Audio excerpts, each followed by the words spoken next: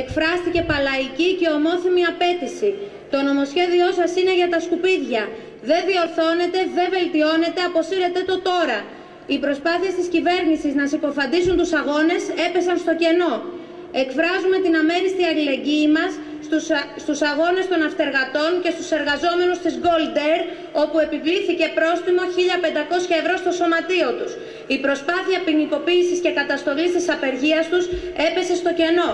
Έσπασαν τα μούτρα τους κυβέρνηση και εφοπλιστές απέναντι στην ενότητα και στην αποφασιστικότητα των ίδιων των αυτεργατών και στην πλατιά αλληλεγγύη που αγκάλιασε την απεργία τους.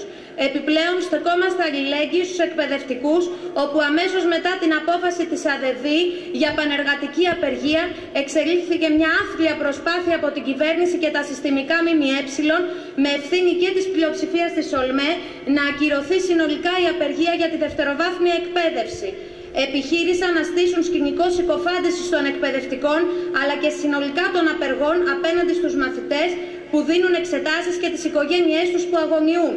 Το πρωί της Τρίτης η κυβέρνηση και το Υπουργείο Παιδείας έκαναν δικαστική προσφυγή εναντίον της απεργιακής απόφασης της ΑΔΕΔΗ με σκοπό να χτυπηθεί συνολικά η απεργία. Αυτό που τους ενοχλεί δεν είναι απλά η απεργία των εκπαιδευτικών, αυτό που τους πονάει είναι γενικά η σημερινή απεργία, η κλιμάκωση του αγώνα κόντρα σε θεούς και δαίμονες, κόντρα στα υπονομευτικά σχέδια του κυβερνητικού συνδικαλισμού. Η απεργία δεν είναι κλαδική, ούτε είναι απεργία ενάντια στις πανελλαδικές. Αφορά το σύνολο της εργατικής τάξης και την νεολαία. Η κυβέρνηση επιδιώκει με κάθε τρόπο να στήσει σκηνικό κοινωνικού αυτοματισμού για να στρέψει τη συζήτηση αλλού και όχι στο αντεργατικό έκτρωμα που θέλει να ψηφίσει. Δεν φοβόμαστε ούτε να μας βγάζουν παράνομες τις απεργίες, ούτε τα πρόστιμά τους. Οργανωμένοι και συσπηρωμένοι στα σωματεία μας μπορούμε να τους νικήσουμε. Η προσπάθεια τρομοκράτησης και ποινικοποίησης των αγώνων δεν θα περάσει. Η επιτυχία και της σημερινής απεργίας, παρά το γεγονός ότι η ΓΕΣΕΕ και αρκετά εργατικά κέντρα δεν πήραν απόφαση για κήρυξη γενικής απεργίας, είναι η καλύτερη απάντηση στην κυβέρνηση της Νέας Δημοκρατίας και στον Υπουργό Εργασίας Χατζηδάκη, οι οποίοι εδώ και μήνες ισχυρίζονται ότι το νομοσχέδιο εκφράζει την πρόοδο και τον εξυγχρονισμό, ότι έχει δήθεν τη λαϊκή αποδοχή. Δεν έχει βρεθεί ούτε ένα συνδικάτο πλην της θλιβερής ηγεσίας της ΓΕΣΕΕ που να χαρακτηρίζει το νομοσχέδιο θετικό.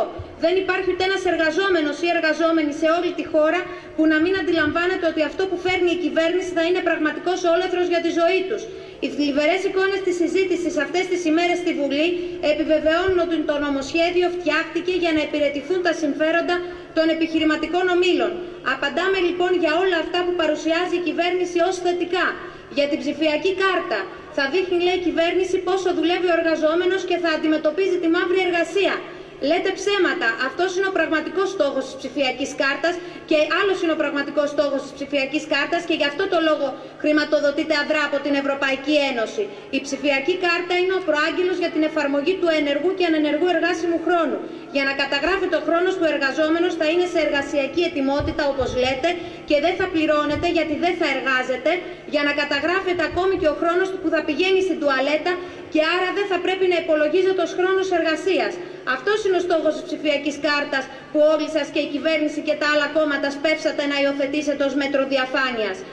Όλες και όλοι στα συνδικάτα τώρα πρέπει να ξαναζωντανεύσουν όσα σωματεία υστερούσαν σε δράση, να υποδεχθούν δεκάδες χιλιάδες εργαζόμενους, να οργανώσουν ανοιχτές μαζικές συνελεύσεις που να εξασφαλίσουν την ουσιαστική συμμετοχή όλων στη συζήτηση και στις αποφάσεις.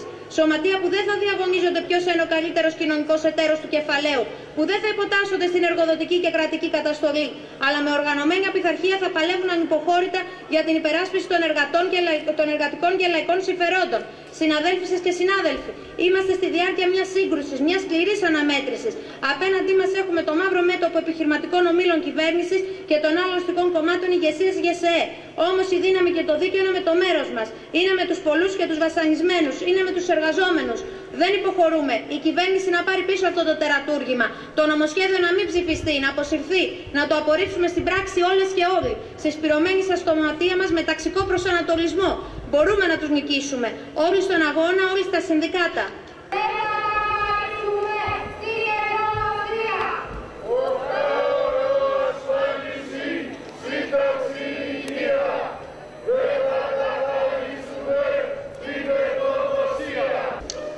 Εργαζόμενοι οι άνεργοι, οι συνταξιούχοι, οι νέοι και οι νέες, εκφράζοντας για ακόμη μια φορά φωνή διαμαρτυρίας του κόσμου της εργασίας απέναντι στο νέο εργασιακό νομοσχέδιο που προωθεί η κυβέρνηση. Είναι πλέον καθαρός στους ανθρώπους της εργασίας ότι το νέο εργασιακό νομοσχέδιο εμπεριέχει στοχευμένες νομικές κατασκευές και επικίνδυνες για τους εργαζόμενους και τις εργαζόμενες, ιδεολογικές ακροβασίες, όπως είναι η επανομαζόμενη ατομική διευθέτηση του χρόνου εργασίας, που ο δάλος σχετίζεται με τη γνωστή σε όλους μας διευθέτηση. Ούτε βεβαίως εξυπηρετεί πρόκειρες εποχιακές ανάγκες επιχειρήσεων. Με σφαιρετζέ τη συμφιλίου της οικογενειακής και την επαγγελματική ζωή επιχειρείται μια οριζόντια διάνοιξη ενός σκοτεινού εργασιακού τούνελ που θα μετατρέψει σε κόλαση τον εργασιακό βίο εκατοντάδων χιλιάδων εργαζομένων του ιδιωτικού τομέα. Με ατομική συμφωνία, εργαδότες και εργαζόμενοι υποτίθεται ότι θα συμφωνούν εργασία με υπερβάλλοντη απλήρωτη εργασία για συγκεκριμένο χρονικό διάστημα. Και όλα αυτά με ατομική συμφωνία, όταν είναι γνωστό της πάσης ότι ο εργαζόμενος χωρίς την κάλυψη της λογικής εκπροσώπησης δεν θα έχουν τη δυνατότητα να διαπραγματευτούν ως ισότιμοι συνομιλητές. Οι εργαζόμενες, οι εργαζόμενοι απαιτούμε σεβασμό στα θεμελιώδη ατομικά και συλλογικό μας εργασιακά δικαιώματα, σεβασμό στα κοινωνικό-ασφαλιστικά μας δικαιώματα, σε βάρος της αξίας, την προσωπικότητα, σεβασμός στην υγεία και στην ασφάλειά μας. Σε αυτή την ιδιαίτερη συγκυρία τα συνδικάτα προτάσουμε ξανά τις δικές μας διεκδικήσεις, οι οποίες βασίζονται στις πραγματικές ανάγκες του κόσμου της μισθωτής εργασίας. Απεργούμε, διαδηλώνουμε και απαιτούμε